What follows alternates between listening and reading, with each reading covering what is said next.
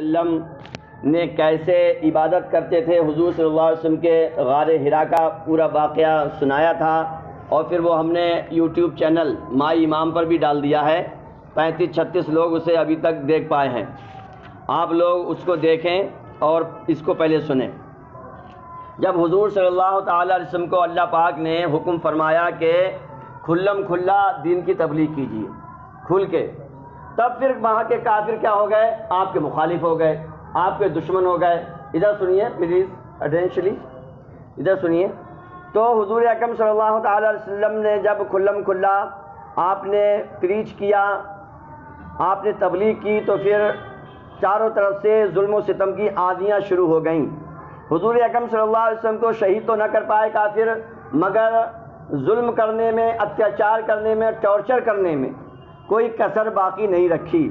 हुजूर अकम सल्लल्लाहु अलैहि वसल्लम के ऊपर कूड़ा डालना, हुजूर के रास्ते में कांटे बिछा देना, हुजूर सल्लल्लाहु अलैहि वसल्लम नमाज़ पढ़ते तो वो ऊँट की ऊँटनी जब बच्चा पैदा करती है, उसकी जो ओज आती है, वो ओज हुजूर के ऊपर डाल देना। हर तरह के टॉर्चर हर तरह से हुजूर अकम सल्लल्लाहु अलैहि वसल्लम को सताया। मगर हुजूर सल्लल्लाहु अलैहि वसल्लम दीन इस्लाम को फैलाने से पीछे नहीं हटे। हर जुल्म सहा, हर सितम सहा उन्होंने नहीं, बल्कि सहाबा इकराम के साथ अल्लाह अकबर क्या क्या काम नहीं किया। हुजूर अकरम सल्लल्लाहु अलैहि वसल्लम नमाज़ पढ़ रहे हैं, हुजूर के गले में चादर का फंदा, एक उखबा नामी बंदे ने डाल दिया और ऐसे करके अमेठा हुजूर सल्लल्लाहु अलैहि वसल्लम को परेशानी हुई, हज़रत अबू बकर सिद्दीक ने आगे बचाया। फिर हज़रत अबू बकर सिद्दीक रज़ी अल्लाह पर सारे कुफ़ार डट गए और उन्हें इतना मारा, इतना मुँह पे जो जूते मोटे मोटे के मुँह पहचाना नहीं जाता था। इतना मुँह मोटा हो गया था कि पहचाना नहीं जाता था। पूरे दिन आप बेहोश रहे। वो सब वाक़ात आपने पढ़े हैं। और क्या कहते हैं, हज़रत खुबाब ये साहबी रसूल हैं। इनको लोग क्या करते थे? इतना सताया, आग के अंगारे दहकाए। तंदूर बंदूर देखते हो? नहीं देखते हो? तंदूर में से अंगारे होते, अंगारे निकाल के इनको लिटाया और एक बदबक ने सीने पे आपके लात रख दी और दबा दिया। वो सारे शोले अंगारे हज़रत खुबाब की चर्बी से गुज गए। अब आप समझ सकते हैं, पूरी ज़िंदगी हज़रत खुबाब की पीठ से वो निशान नहीं गए। हज़रत उमर फारूक ने जब अपने दौरे हुकूमत में देखा, पीठ को देखा तो पीठ को देख कर हज़रत उमर फारूक रोने लगे। हज़रत बिलाल रज़ी अल्लाह की गले में रस्सी बाँध के घसीटा जाता था और रेत, अरब की रेत साहब इतनी गर्म होती है, कुछ मत कहिए। और ऊपर से हज़रत बिलाल के इतने मोटे मोटे पत्थर सीने पर रखे जाते थे कि जबान बाहर निकल जाती। फिर भी आप अल्लाह ही अल्लाह किया करते थे, या रसूल्ला या रसूल्ला किया करते थे। और ऐसा नहीं है, अल्लाह तो मर्द तो मर्द, औरतें भी जुल्म का शिकार हुई हैं। हज़रत सुमैया, हज़रत क्या कहते हैं, अम्मार बिन यासिर की वालदा, इनके नाप पर, पेट में अबू जहल ने ऐसा बल्लम मारा कि आर पार हो गया और उसी में आप शहीद हो गए। तो जब हुजूर सल्लल्लाहु अलैहि वसल्लम को तबलीग करते हुए पाँच साल गुजर गए। चालीस साल की उम्र में आपने नबूबत का ऐलान किया, पाँच साल हुजूर की उम्र हो गई, पैंतालीस बरस। फिर हुजूर सल्लल्लाहु अलैहि वसल्लम ने जब देखा कि बहुत ही ज़्यादा लोगों को मारना, किसी का सर फाड़ दिया, किसी का हाथ तोड़ दिए, किसी की बर्ची मार दी, किसी को आग में डाल दिया तो हुजूर सल्लल्लाहु अलैहि वसल्लम फरमाया अपने सहाबा इकराम से कि ऐसा कीजिए, आप लोग हिजरत कर जाइए, इमिग्रेशन कर जाइए, आप प्रवास कर जाइए। वहीं पर पास में एक मुल्क था हबशा। अगरचे वहाँ का किंग जो था, बादशाह, वो ईसाई धर्म को मानने वाला था। मगर उसके दिल में बड़ी नरमी थी। वो इंसाफ पसंद था, मुसलमान वहाँ पर जाने लगे। जब मुसलमान वहाँ पर जाने लगे, शुरू में तो थोड़े से मुसलमान गए थे। पाँचवें साल ग्यारह मर्द और चार औरतों के एक काफिले ने अपने प्यारे वतन को छोड़कर हफ्शा की तरफ़ हिजरत की। इसे हिजरत उला कहते हैं। कुछ दिनों के बाद कुछ और सहाबी और सहाबियात ने हिजरत की हफ्शा की तरफ़। यहाँ तक कि यह तादाद बयासी हो गई।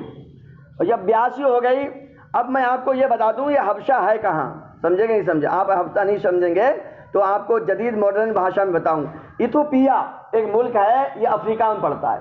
आप सर्च कीजिए इथोपिया को, और आपको ये मिलेगा। वहाँ पर ये मुल्क है। अब उसके बाद यहाँ काफिरों को चैन नहीं पड़ा। समझे नहीं समझे? काफिरों को चैन नहीं पड़ा। तो यहाँ, वहाँ हफ्शा में पहुँच गई बोले भाई हमारे मुल्क के कुछ आ गए हैं लोग, आप उनको बाहर कीजिए, आप उनको निकालिए। तो बादशाह ने कहा, क्योंकि बादशाह इंसाफ पसंद था।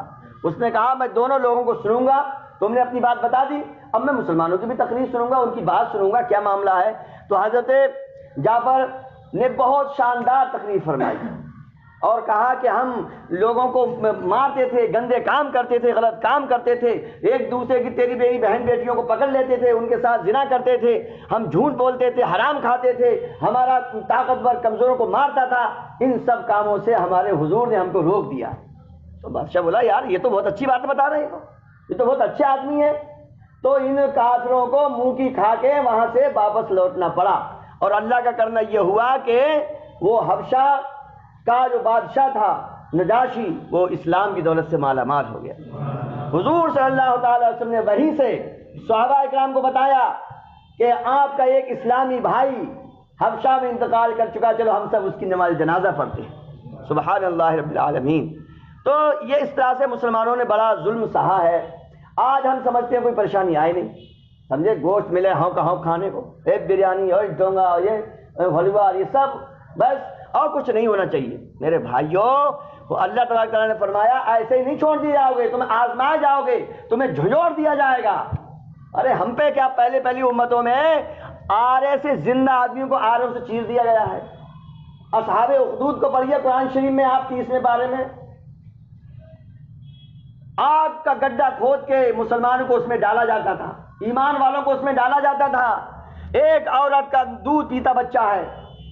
बादशाह कहता है, या तो तुम दीन को छोड़ दो, काफिर बन जाओ, या फिर आग में जाने को तैयार हो। सारे मुसलमान आग में जा रहे हैं, आग में डाला जा रहा है। एक माँ का बच्चा है, दूध पीता है, वो झिझकती है कि मुझे अपना तो डर नहीं है, मगर इस लाल का डर है। सीने से चिपकाती है। वो बच्चा अल्लाह के हुक्म से कहता है, माँ, क्या तुझे डर लग रहा है? क्या तू हक में नहीं है? कहा, बेटा, मैं हक पर हूँ। तो लगा, छलांग, बस एक गोता है, उसके बाद फिर जन्नत का दरवाज़ा खुलेगा। पर ये आप असहाब उखदूद को तीसवें बारे में ऐसे ऐसी जुल्म सहे हैं मेरे दोस्तों, हमारे हुजूर ने हमारा माइंड सेट कर दिया है पहले ही। दुनिया जेल है। दुनिया जेल है। दोस्तों जब पहले से किसी मुसीबत का पता चलता है तो उतनी मुसीबत नहीं रहती है। जब अचानक से कोई मुसीबत आती है तो आदमी एकदम झड़बड़ा जाता है। हमारे हुजूर ने हमारा माइंड सेट कर दिया पहले ही। मुसलमानों के लिए दुनिया जेल खाना है। दुनिया कैद है। गुला शिकवा मत कीजिए। परेशानियों का, मुसीबतों का, आफतों का वेलकम कीजिए। हमारे लिए चैलेंज है। यह हमारी ज़िंदगी का एक हिस्सा है। और अल्लाह पाक ने कुरान शरीफ में ये कह के हमें दिलासा दिया है इन नमालसरी उसरा हर परेशानी के बाद आसानी है। हर परेशानी के साथ आसानी है। तो घबराइए मत, सूरज शाम को डूबता है, सुबह को फिर निकलता, मरता नहीं है सूरज। इसी तरह से हमारी ज़िंदगी पर कभी कभी गम के बादल आ जाते हैं, गम के बादल छटते खत्म। इन हम मुसलमान थे, मुसलमान रहेंगे, और यही हमारे रब ने हमसे फरमाया है कि तुम मुसलमान ही रह के मरना। ये आखिरी सांस तक ये कोशिश करना कि हमारा ईमान बचा रहे और हमारा ईमान बचेगा मुस्तफ़ा जान रहमत सल्लल्लाहु अलैहि वसल्लम का ज़िक्र करने से। मैं देख रहा हूँ दिल्ली में बहुत कम ना के बराबर मिला शरीफ होते हैं। मेरे भाइयों मिला शरीफ नहीं करते हो तो कम से कम जाके बताया करो घर पे कि आज मिलाद शरीफ हुआ था मस्जिद में, ताकि तुम्हारी आने वाली नस्लों को पता चले मिलाद शरीफ भी कुछ होता है। वरना कल तुम्हारी फातिहा भी नहीं पड़ेगी ये नस्ल कान खोल के सुन लो। आने वाली जनरेशन जिस तरह से हम दीन से दूर हो रहे हैं दीन से जिस तरह से हम दूर हट रहे हैं, अपने रस्म रिवाज, इस्लामी रस्म रिवाज जो छोड़ रहे हैं हम, जो बुज़ुर्गों के तरीकों को छोड़ रहे हैं हम, ये हमने इसलिए चालू किया, पीर को खुशबू लगवाते हैं आपको, ताकि आने वाली जनरेशन को पता चले कि मिलाद शरीफ भी कुछ होता है। हुजूर का ज़िक्र तुम्हें सबको पता होगा, कैसे कैसे मिलाद शरीफ होते थे, खुशबू लगाई जाती थी। इसीलिए मैं सब, क्या कहते हैं, ज़िंदा कर रहा हूँ। आपको बताता हूँ ताकि मेरा ईमान भी ज़िंदा रहे, तुम्हारा ईमान भी ज़िंदा रहे। अपने साथियों को बताया करो, कम से कम अपने घर में जाके बताया करो, आज मिलाद शरीफ हुआ था, तुम्हारे छोटे छोटे बच्चे पूछेंगे, अब्बा, ये मिलाद क्या होता है? ये मिलाद क्या होता है? तो आप बताओगे, हुजूर का ज़िक्र होता है, जिनके सदक़े में सारी कायनात बनी है, जिनके सदक़े में हमें खाना मिलता है, जिनके सदक़े में हम तुम्हें खिलौने मिलते हैं, जिनके सदक़े में सारी कायनात मिलती है, उनका जो है आज जन्मदिन है। तो ये इस तरह से भी मिलाद होगा। इमामी मिलाद नहीं करेगा, आप भी मिलाद शरीफ करेंगे। मिलाद शरीफ का मतलब है, हुजूर के जन्मदिन को बयान करना। अपनी अपनी अंदाज में बयान कीजिए और ये बयान इंशाल्लाह फिर हम यूट्यूब पे डालेंगे। इसको आप घर पे सुनवाइए, खुद भी सुनिए। और मैं आपको ये बता दूँ कि आपको ये चक्कर होगा कि इमाम साहब की आमदनी होगी तो आमदनी अभी ना हो रही है और ना हम इसको लेंगे। क्योंकि यूट्यूब की आमदनी जो होती है, वो फ़ुकाए कराम ने फरमाया है, वो लेना जायज़ नहीं। इसलिए यूट्यूब से हमें कोई अर्निंग नहीं होगी और होगी भी तो हम लेंगे नहीं, वो कान खोल के सुन लिए हम सिर्फ़ महज दीन के प्रचार और प्रसार के लिए ये काम कर रहे हैं। इसका बदला हमें हमारा रब अता फरमाएगा।